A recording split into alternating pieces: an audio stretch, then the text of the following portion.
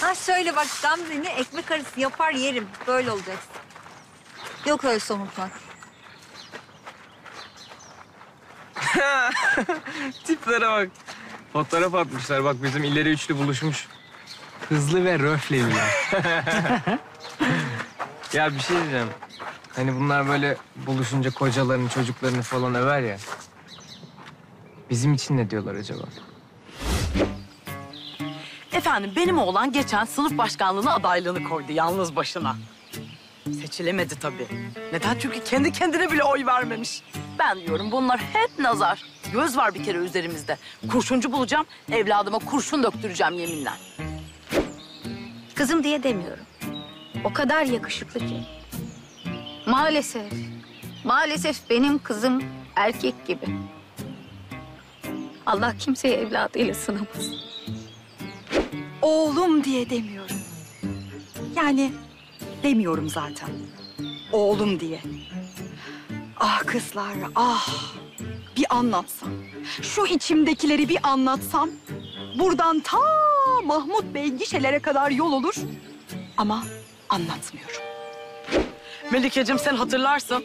Bir 23 Nisan'da bir günlüğüne bu babasını sanayiye verdi. Evet, kindar ayol, kindar. Yeminle. Ama neyse işte evlat diyoruz, bağrımıza basıyoruz tabii. Hayır, bu doğarken böyle enlemesine doğdu. Kafası o arada sıkıştı. Acaba diyorum o arada mı bir şey oldu? Kafası sıkıştı diye bilemiyorum. Akranlarının bir alışveriş yapışı var. Taşıyanın belinden disk attırır.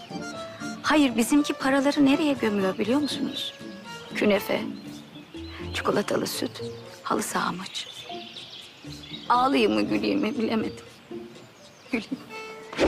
Mesela benim oğlum garanticidir. İşini asla şansa bırakmaz. Geçen gün kompozisyon sınavında sırf garanti olsun diye bütün D'leri ayrı yazmış. Ama ondan da kalmış. Manyak ayol benimki. Aklı evvel o bakımdan. Ama benim Sinan'ım böyle bir bakar. insanın kalbinden makas alır kerata. Boncuğum, kızcem, bir tane.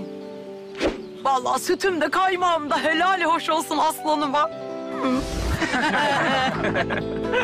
Çok iyi.